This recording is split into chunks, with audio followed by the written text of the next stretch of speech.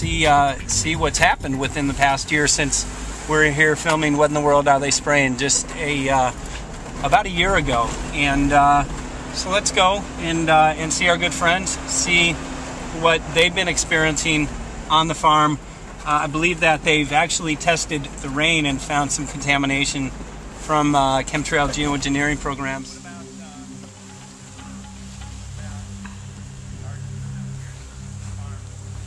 Look up here in the sky.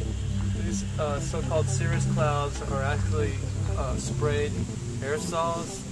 They spread out. They're much higher than the, the, uh, the uh, lower clouds, which are uh, trade wind clouds.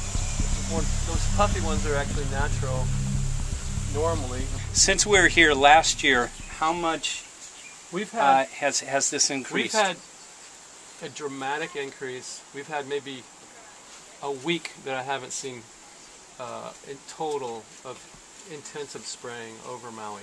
Mhm. Most of it is done offshore.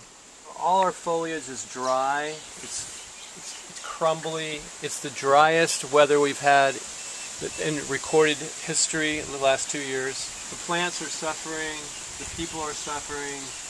And it's happening so slow and so incremental that people don't notice. You guys did a couple of tests before, Yeah. not not a couple, but many tests. But uh, since we were here last year, what what did you find in in we the rain? We found abundant aluminum, barium, uh, strontium, and manganese. Those are the things that we actually tested for. Mhm. Those items really shouldn't be in the rainwater.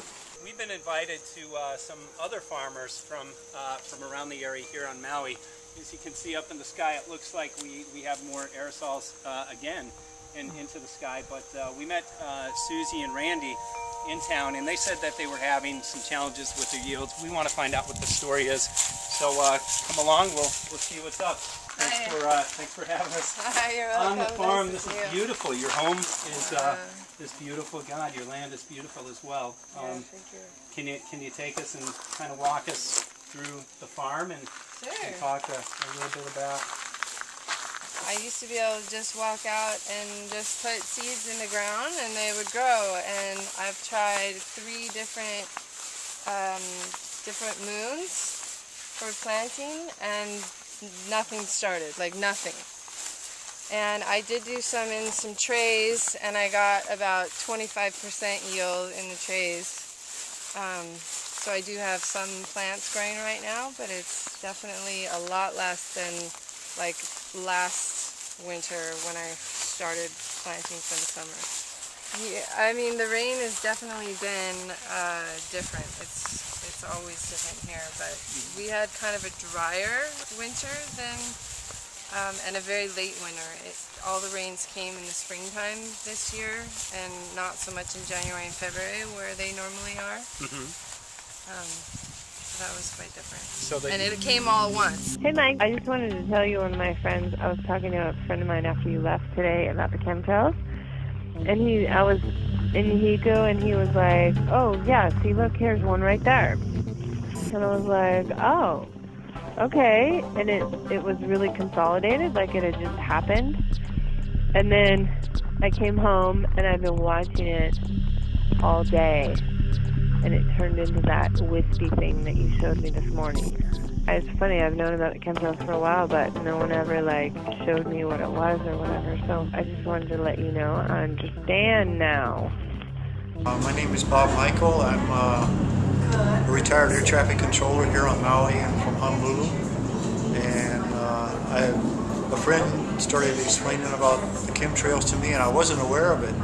And then I started noticing the patterns of the uh, chemtrails, and they were north to south, which would be a very unusual contrail for here because all the air traffic at higher altitude overflights are at east and west, going from Asia to the U.S. mainland. So it became really obvious pretty fast that it was not a normal situation going on.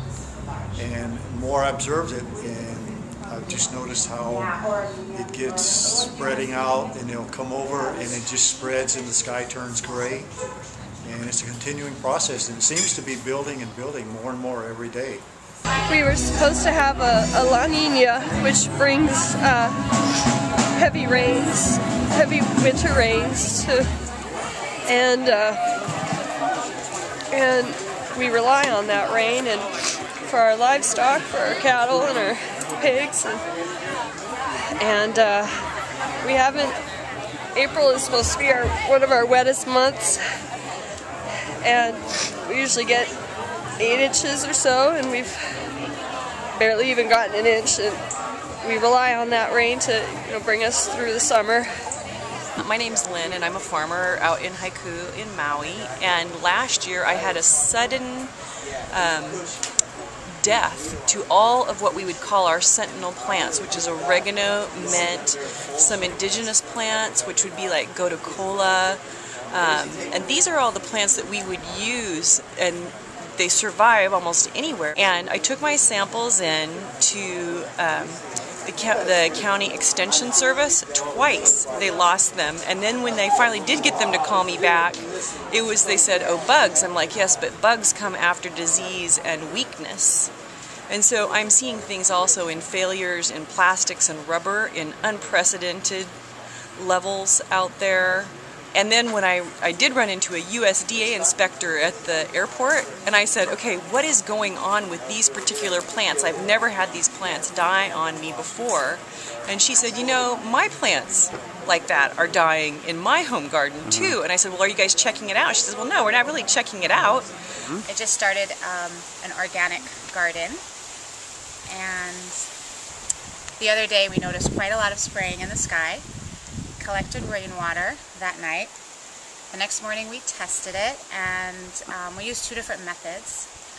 The first test came up as 7.5 pH and the second test came up as 6.7. So according to um, Francis Mangels, a biologist in California who I've spoken with, this is really alkaline. The first test was 100 times more alkaline than is normal, and the second test would have been about 20 times more alkaline than normal. Aloha velina mai nei o Hawaii aina. Welcome to Truth and Justice. Once again, we are here live. Geoengineering is defined as the artificial modification of the Earth's climate. That includes the ocean, but it also includes our weather. And uh, it's very similar to the GMO seed, also linked into the GMO seed uh, uh, situation that we have here, but it's very si- uh, similar because we have corporations that want to corporatize things that are natural and organic so that they can gain money and power off of it.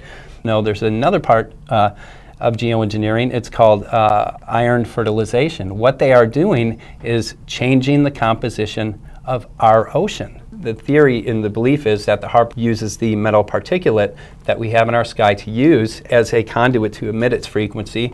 What it can do is heat up this metal particulate and literally create high pressure and low pressure systems, and they can steer storms. Barium is a desiccant as well. So typically, um, in Northern California, when the rainstorms come in, it's very common to hear airplanes flying over these clouds. And it's amazing because in the past several years, when the storms typically bring in about uh, three inches of rain, now they're getting a quarter inch, a half inch, not much rain. But what we see in the Midwest and on the East Coast is incredible flooding. So what they're doing is sequestering the moisture with these chemicals, and then they're again moving jet streams and, and steering these storms. What it's doing is creating havoc, creating floods.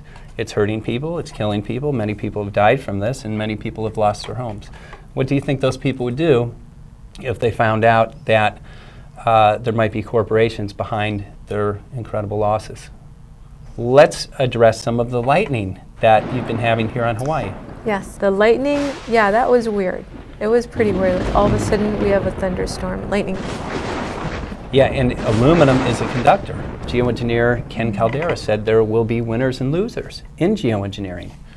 If That's a we, gamble. If we decide to do this, That's yes. a real bad gamble yeah, on human life. They're very open eh, open about this. And let's go back to a statement that geoengineer David Keith made a few short months back. He said geoengineering gives man godlike power.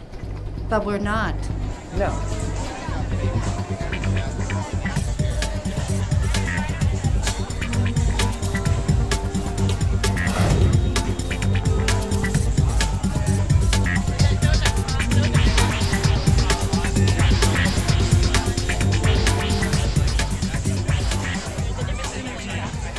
We've seen a great increase in cancers in the past several years.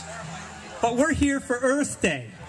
Let's talk about these substances and what they do to our Earth, not their Earth. Aluminum oxide is very toxic and it will change the pH of soils. Uh, what we've noted in our journey, not only here on Maui, but in other areas such as Northern California, scientists started noticing that, so that, that the ecosystems were dying off. As we see here on Hawaii, many farmers who, who I've interviewed uh, have told us that they are having difficulty getting the yields that they have just a couple of years ago. Aluminum is very toxic to soils. It will destroy natural systems. Earth Day produced so much public interest that over 200 people showed up to our Chemtrail Geoengineering Symposium later in the week. There are letters from anonymous military people that say spraying at this altitude, 40,000 feet, cannot possibly affect human health at all. Uh-huh. Now that's just wrong. We don't spray above Maui or Hawaii if they want to get involved. We don't spray until we see an EIS, Environmental Impact Statement, which covers health and environment. We're supposed to have this law that says that EIS, you got to do an EIS before you affect us. Okay? Well, have we obeyed the law? So can you pass a moratorium not to do it until there's an EIS, number one. Number two, that other guy from Tennessee Texas who said, well, I think a little bit of experimentation is okay. If we get our backs against the wall, we might have to do this. Uh, uh, yeah. Well, now it's my area. When you're having a problem, an outbreak, the papaya is all dying from ring spot, ring spot virus, uh, an outbreak of dengue you get to do experimental things if and only if you get written informed consent from everybody involved. It's as simple as that. Other speakers were Dr. Bonnie Marsh, human rights activist Mehalani Ventura, and Bruce Douglas, director of Maui Earth Day. The event birthed the beginning steps towards the Blue Sky Ordinance, which will ban aerosol spraying from geoengineering programs above Maui. And from that, that has gone into the concept of well, what can we do here locally? We can pass a county ordinance that says you may not spray things in our sky without our permission. And we've had meetings with county officials uh, who've been listening, uh, health department people who have actually taken a part over the past year and have done range sample testing. You know, over a period of a month's time, two month period of time, we did range sample testing that conclusively showed aluminum, barium, and strontium in our rainwater, in our water catchment tanks, and uh, it's exploded. So many people are, it's common knowledge now, whereas a year ago it wasn't common knowledge. People hadn't heard, hadn't heard about it or thinking it was even happening in Hawaii. But it's really exciting that it's gone from just a few people a year ago to probably thousands of people now who are, are aware and are ready to take action. This is the end of our Hawaii tour. We're ending it here in Maui, beautiful Maui, Hawaii. We've seen profound changes, not only in the amount of aerosols that we see, but also in the awakening. Uh, we have many public officials now who are starting to take steps and putting together a county resolution to ban aerosol spraying uh, above the island here. Um, also, we've seen uh, a tremendous awakening in consciousness of people who want to get active and are addressing this. So again, I encourage everyone, what's happening on Maui can happen in your community. You can, you can uh, get involved uh, at the local level, you can get involved at the city level, you can even get involved at the national level and at the world level. What's important is that each and every one of us get involved and address the issue of geoengineering. Together, we can all make a difference. Thanks much love and aloha from Maui, Hawaii.